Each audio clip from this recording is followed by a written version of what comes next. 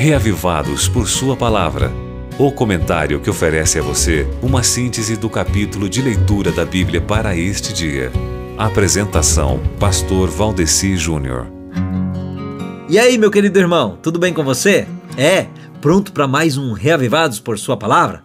Então vamos lá, amigo ouvinte. Eu vou ler aqui para você umas partes selecionadas do texto de hoje aqui, com a finalidade de, como diz o próprio texto, ajudar a tornar mais forte a fé que o povo de Deus tem e para fazer com que eles conheçam a verdade ensinada pela nossa religião, que se baseia na esperança de recebermos a vida eterna. Tá certo, meu irmão?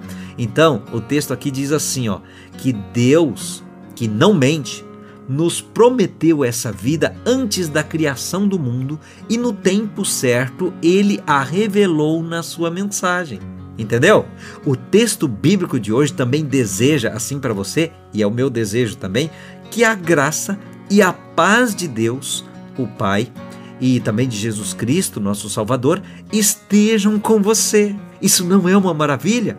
Então, meu querido, porque, como diz o texto aqui, o cristão não deve ser orgulhoso, nem ter mau gênio, não deve ser chegado ao vinho, nem violento, nem ganancioso.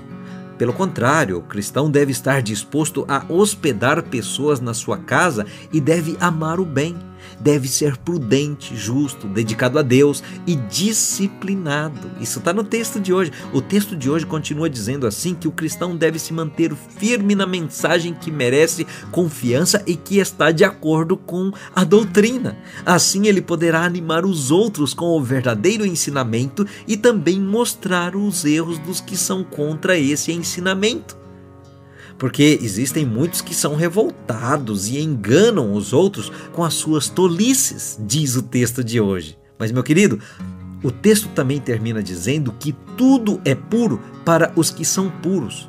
Agora, nada é puro para os impuros e descrentes, pois a mente e a consciência deles estão sujas. Eles dizem que conhecem a Deus, mas o que eles fazem mostra que isso, infelizmente, não é verdade, tá certo?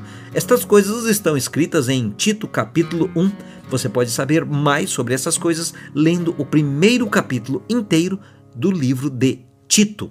Você ouviu Reavivados por Sua Palavra, com o pastor Valdeci Júnior.